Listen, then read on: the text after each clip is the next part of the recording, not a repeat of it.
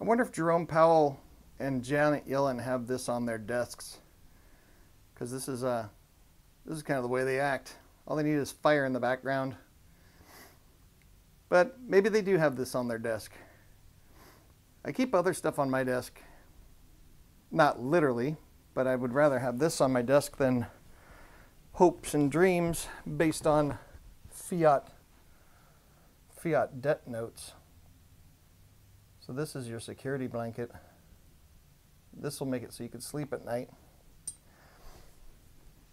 There's a lot of talk about the central bank digital currencies and how those are going to be released and how they're how they're going to be uh, used in day-to-day life. And I think I think the original idea was to have them for interbank lending, but I think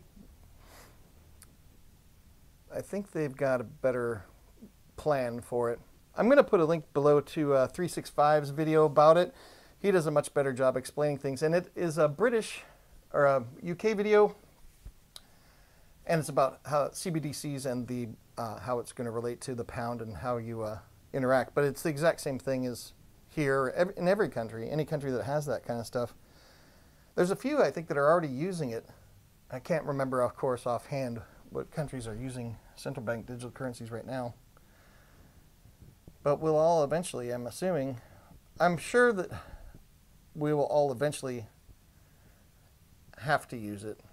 There was one uh, guy that commented on a video, not one of my videos, but he he said, "Well, what do you do with your gold and silver? Just convert it into CBDCs?" And to that, I replied, "Yeah, you if you uh, want to sell it, you convert it into central bank digital currency, and then you take that and you buy what you want with it. So if you want to buy a house, I'm assuming the seller is not going to be accepting this. So you'd have to convert this into something that they will accept, and that will eventually, I'm a, eventually, I think it's going to be the central bank digital currencies. And they'll probably have to, uh, they'll probably have to be introduced. Well, how about this? It will be much easier for people to accept the use of central bank digital currencies when there's a catastrophe, when there's an emergency. It's much easier to get people to take something that's not prone to spreading germs, if you can see where I'm going with that idea. Central bank digital currencies are clean.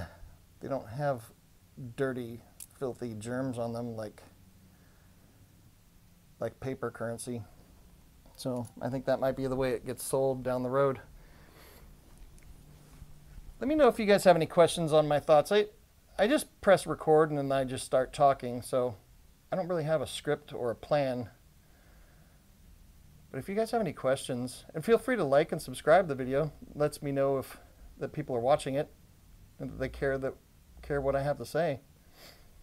But if you have any questions, just post them below. There's a good chance I'll make a video as a reply. Just on my point of view, I'm not saying that I'm right or that you're wrong, but uh, I think the best thing would be to just listen to each other and then take what information we can and use it to develop our own strategies. But anyway, a really short one this morning. I hope you guys have an awesome Saturday. And if you're a stacker, this is fine.